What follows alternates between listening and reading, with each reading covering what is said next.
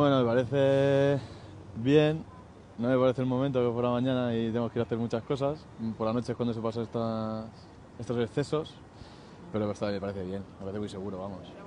De alcohol sí, de drogas nunca. No hemos salido todavía el resultado, a ver qué, qué ocurre, pero no, me parece bien que se haga.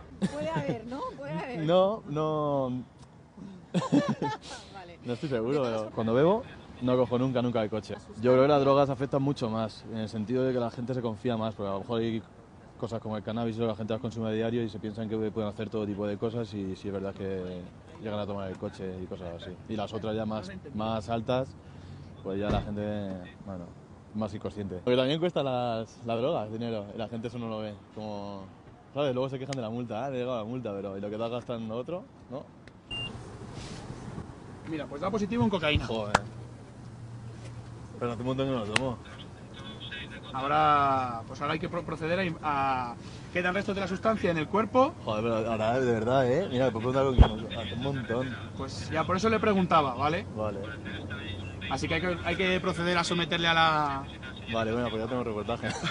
No, o sea que claro, tú aseguras que has consumido hace tiempo, ¿no? hace mucho, hace mucho tiempo. Bueno, más de, más de una semana.